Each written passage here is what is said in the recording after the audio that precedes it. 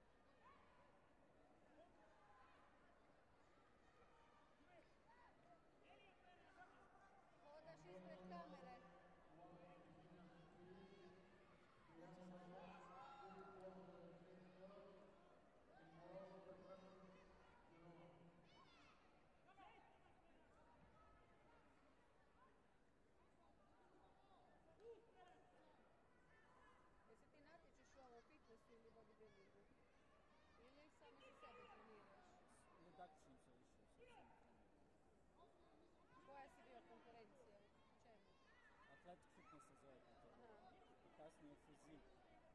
Šta to znači? Samo... Athletic fitness je bio, imaš poziranje na bini, plus radiš ponavljanja na vratlu razboj i veslanje kilometra. Aha. A to je bilo.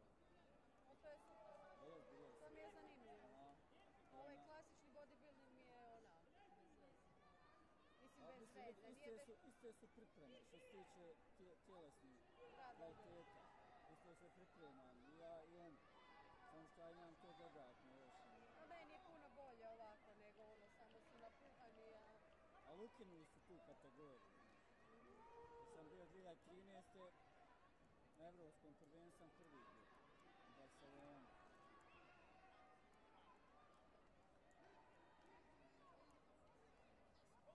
Dalo. Six point. It's okay. Thank you. Ačko da će pobijediti.